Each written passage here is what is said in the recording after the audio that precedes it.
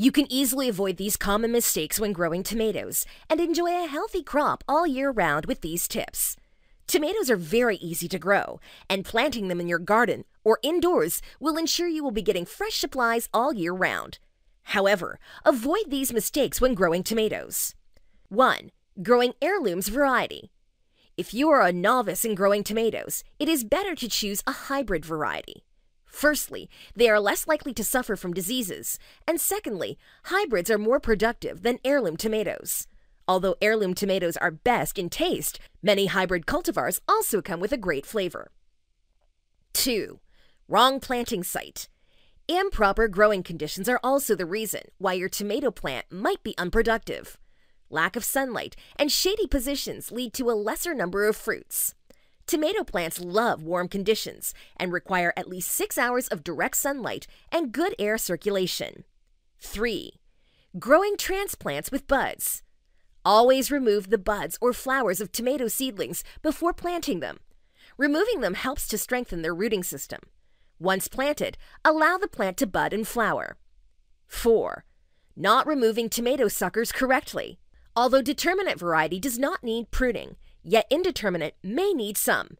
If you don't remove suckers of the indeterminate variety, the growth of the plant will go out of control. Whereas, if you remove all suckers, the same energy will be used for fruiting. 5. Over fertilizing the tomato plant. Over fertilizing tomato plants, especially with too much nitrogen, can damage them. This is one of the major mistakes when growing tomatoes. The plant will produce more leaves and stems, but very few flowers. Even more, their roots will turn black. If the soil has high nitrogen, use 5-10-5 mixed fertilizer and 10-10-10 balanced fertilizer if the amount of nitrogen is less in the soil. 6. Not preventing plants from diseases.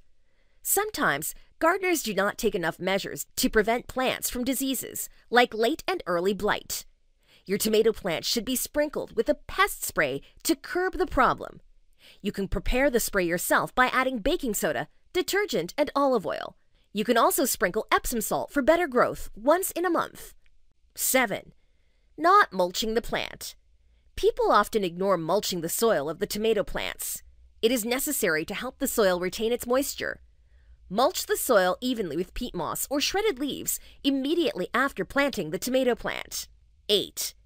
Improper spacing. Often, less spacing between the plants leads to poor air circulation. Even more, plants start competing with each other for nutrients and water. If you are willing to grow tomatoes in bulk, then make sure to give 25 to 35 inches of spacing between them and at least 12 inches while planting the dwarf varieties. 9. Lack of support. If you are growing the indeterminate varieties of tomatoes, like Early Girl or Rutgers, you must provide proper support, like staking or caging.